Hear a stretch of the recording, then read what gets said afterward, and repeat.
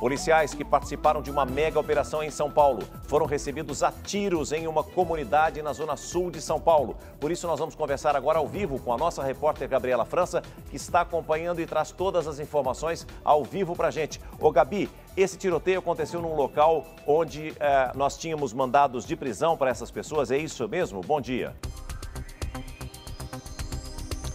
É isso mesmo, César. Um ótimo dia a você, a todos que nos acompanham. Olha só, só na região sul de São Paulo estão sendo cumpridos mais de 600 mandados de prisão.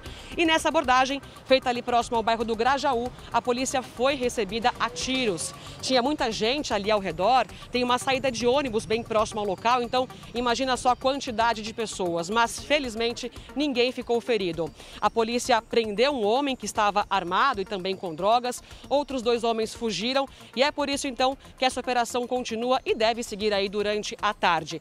Aqui na região central, são mais 30 mandados de prisão. As seccionais também estão envolvidas. São mais de 900 policiais aí pelas ruas. E essa operação continua. E a mira da operação, gente, é o crime contra o patrimônio e também as lojas que atuam aí no ramo de compra, venda e desmonte de celulares. Nós do Hoje em Dia, claro, continuamos de olho, acompanhando essa mega operação e qualquer novidade eu chamo você vocês.